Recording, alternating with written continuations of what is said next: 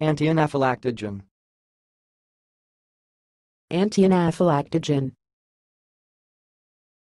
Anti-anaphylactogen. Thanks for watching. Please subscribe to our videos on YouTube.